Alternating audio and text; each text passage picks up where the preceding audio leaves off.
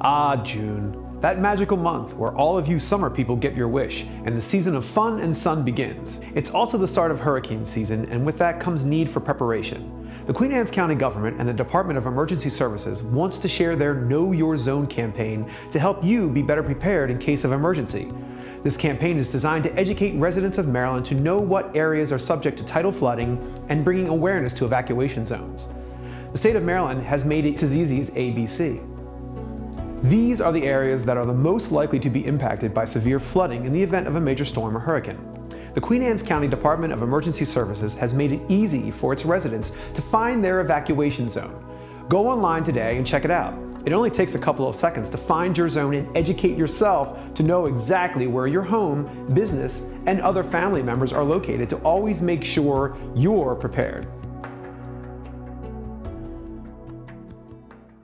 So I'm standing here in Wye Mills, pretty much right on the border between Queen Anne's County and Talbot County. So you'd think, being this far away from the water and the Chesapeake Bay, that I'd be safe, right?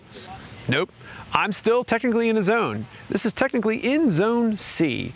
Zone C means that you still need to pay attention to warnings and notices when a hurricane hits our state. So I'm here in Prospect Bay in Graysonville, which is almost dead set in the center of Zone B. Now Zone B is not as bad as Zone A, but remember, if you're in any of the zones, either A, B, or C, you are still in danger. So always heed warnings and notices. I'm standing here in downtown Stevensville on Kent Island. Why am I standing here? To let you know that Stevensville and Kent Island is directly in Zone A. What is Zone A? Zone A is a part of Queen Anne's County that is going to be affected the most when we have hurricanes or severe tidal flooding that will hit this area during the hurricane season.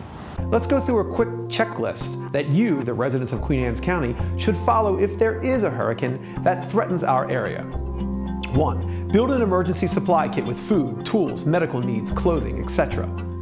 2. Develop a family emergency plan, a communication plan, and action plans in case of emergency. Three, always remember to plan for your fur family members as well. Four, stay tuned to trusted sources such as the National Weather Service and local broadcasters during severe weather conditions. Five, stay indoors and away from windows. Six, fill a bathtub or other large containers with water. And finally, seven, keep all of your important documents safe.